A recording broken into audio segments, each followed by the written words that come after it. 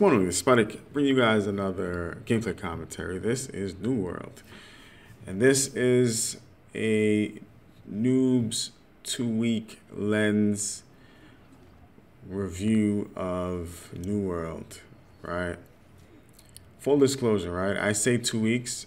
Um, I played this game about a year ago when Brimstone Sand came out, and I knew I would eventually come over to this game. I knew I, I had limited, I wouldn't say limited time playing BDO, but I was coming to an end. I've pretty much done everything that I could possibly do in Black Desert Online. I got all of the gear that I needed. I was at max level. I pretty much got everything. I've done everything. And I played that game for four years, man. So uh, I had a lot of fun, um, but this is a new journey. And so essentially, it's it's a two week lens, right? I'm viewing everything from that lens of being a complete noob. I don't know the matchups in this game. I don't know. I shouldn't say that. I know a few matchups, and I don't know them well. So I know Spear and Rapier. I know flame staff because I fight a lot of flame staff players. I know a little bit of hatchet. Uh, there's a player in here that uh, that I fight that plays a hatchet, and I cannot beat this guy. He when he uses a flail and a hatchet combo, I'm almost to me the player is almost invincible. Right? Again, I don't necessarily know the matchups and a lot of a lot all of the all of these fights here because I've just mainly been doing duels and just getting my PvP track up, doing the quests and then a bit of outpost rush. Can never get into a 3v3. I, you know, I don't want to necessarily, I don't want to say that. Rarely do I get into a 3v3. And so I've devoted most of my time to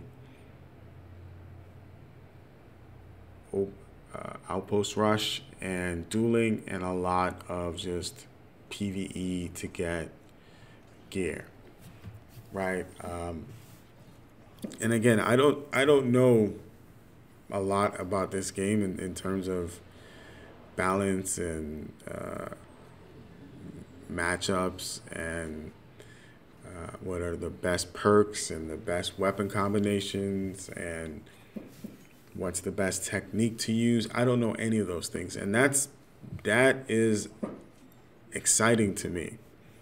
Right? Uh, this game does have all of the elements that I like about any game that I play.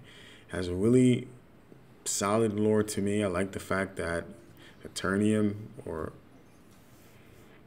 uh, I think that's what it's called, right? Aeternum. I like the fact that uh, the lore to me is is interesting and has a bit of, you know, um, uh, it's, it's it reminds me a lot.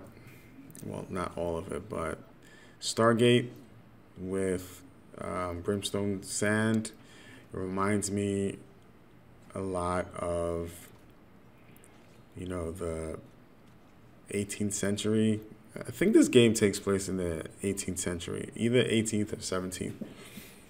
And uh, I just like I like the element of it. I like the lore. I like the fact that this mysterious island is out in West Bubblefuck, West Bubble, and uh, you know it, it offers eternity, right? And there's technology there that far surpasses technology that we have today.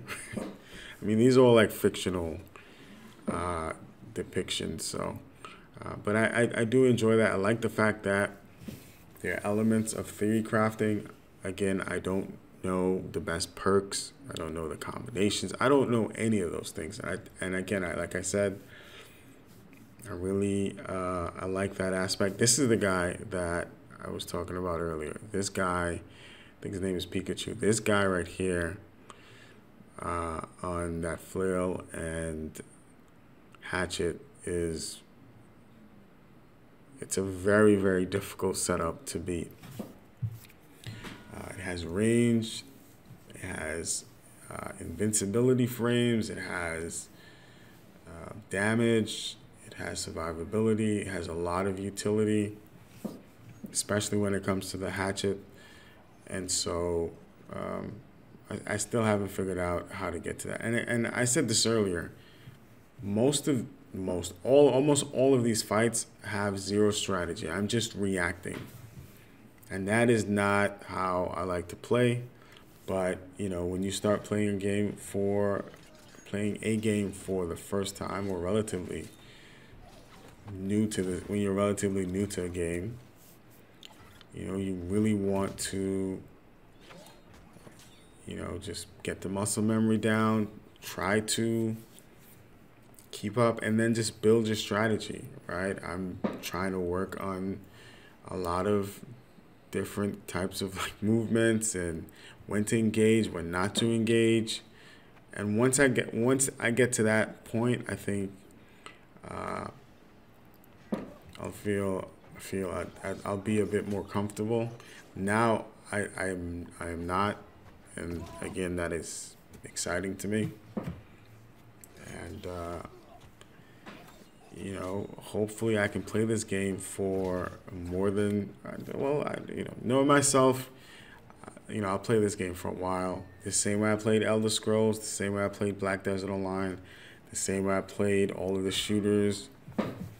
You know, I, I you know, I personally think gaming is a privilege and, you know, it's a hobby for me, even though it's been a part of my you know, adolescent to adult life, and um, you know, I wouldn't, I wouldn't give this uh, gaming up for.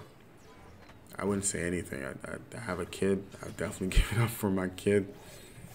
I have a family. I would do that as well. But you know, luckily I don't have to make that choice, right?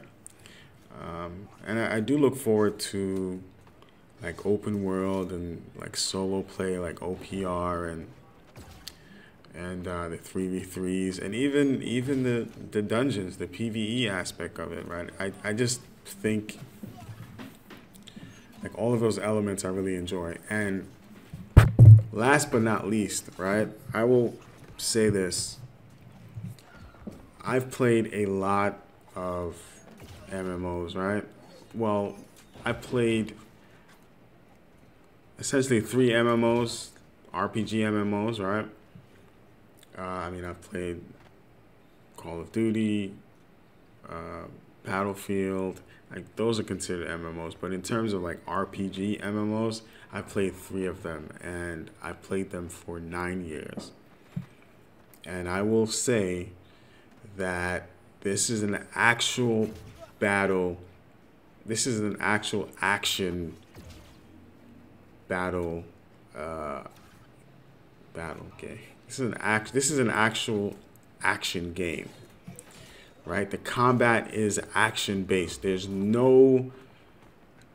There's no. Uh, there's no gimmicks about it, right? And this is from a two week lens, so I might be wrong, but everything you have to react, right? Everything you have to do.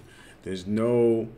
Uh, I mean, with the controller support coming in, I, have seen that they've disabled, uh, they've disabled aim assist and, and those types of things, and they do have an option to enable them in PVE.